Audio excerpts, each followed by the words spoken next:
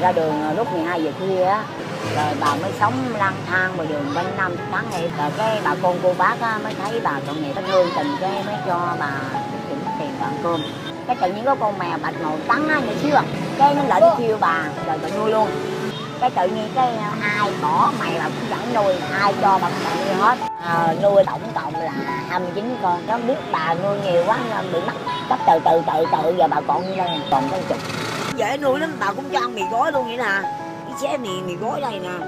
Xé ra bắt đầu cái nó để đó biết con này bu lại ăn chợ thì thì mình thấy luôn mà thấy khôn vậy nó không mà biết nói mà nó chịu nó biết nghe. Rồi sợ bà lắm nha. Bà chỉ lầy thôi mà bà biết nghe.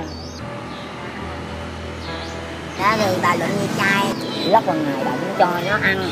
Như là cái ăn của mèo. Thì bà nuôi về cái bà thấy vui lắm bà cái niềm vui mà bà vui mà đã buồn chút. Mẹ, bà chết rồi, bà mới khổ mà đó rồi đó, cho mẹ còn có nhà, có ở. Thì bà không khổ. Thì tết năm nào bà cũng suy nghĩ rồi mình ra sum họp rồi vui với chồng luôn. Bà thì bà ngồi thì cô đơn. Rồi buồn mình thăng hai giờ thì mình, buồn mình để trong tâm thì thôi.